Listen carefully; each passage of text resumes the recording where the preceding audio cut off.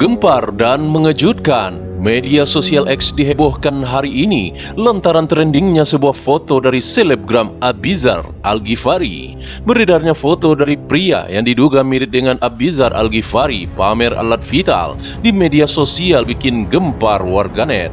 Dari foto yang telah beredar, terlihat seorang pria diduga mirip Abizar tengah mengambil foto selfie setengah telanjang. Kabar ini sontak mengejutkan semua orang termasuk juga Umi Pipik. Lantas, benarkah sosok yang berada dalam foto tersebut adalah anak pendakwah Umi Pipik itu? Bagaimana ulasannya? Inilah news update kali ini.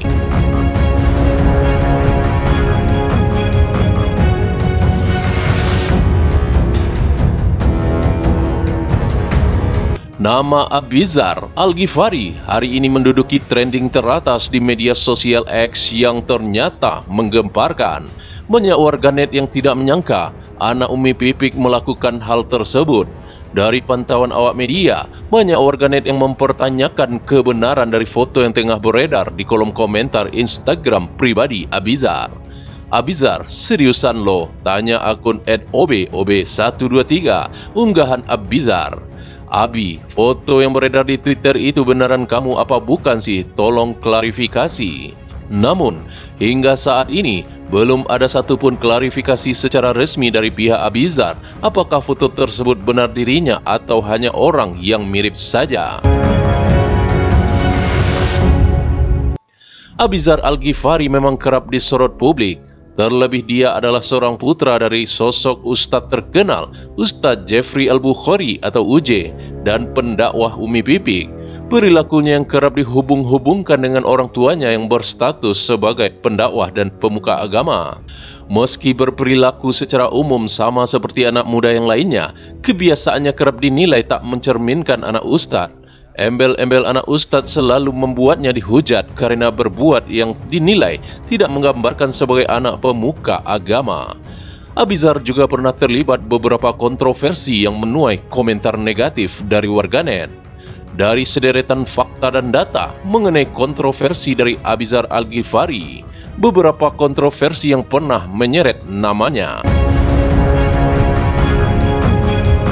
Beberapa kali Abizar terlihat memakai anting. Itu kemudian membuat nyinyiran dari netizen karena menurut mereka tidak seharusnya cowok memakai anting. Hanya saja Abizar menjelaskan kalau telinganya tidak ditindik dan anting hanya sebagai fashion saja. Kedua, memegang dan mencium anjing. Abizar juga pernah menuai kontroversi gara-gara ia terlihat memegang dan mencium anjing di acara gala premier film balada Siroy. Menanggapi hal itu, baik dia maupun ibunya tak mau ambil pusing hujatan dari netizen. Umi Pipik bahkan tetap mendukung kegiatan positif dari Abizar di dunia akting ketimbang menanggapi komentar negatif soal memegang atau mencium anjing diperbolehkan dalam Islam atau tidak. Selanjutnya, merokok. Kebiasaan laki-laki merokok pun menjadi masalah untuk Abizar si anak ustadz. Beruntungnya, Umi Pipik tak mempermasalahkan kebiasaan dari anaknya merokok itu. Kontroversi selanjutnya adalah unggahan foto bersama pacar.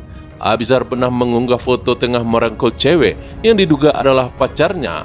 Saat itu, dia menuliskan nekat untuk caption postingannya.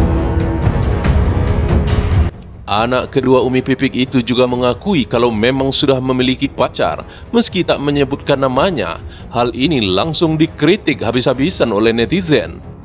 Karena pacaran tidak diperbolehkan dalam Islam, apalagi orang tua Abizar adalah seorang pendakwah.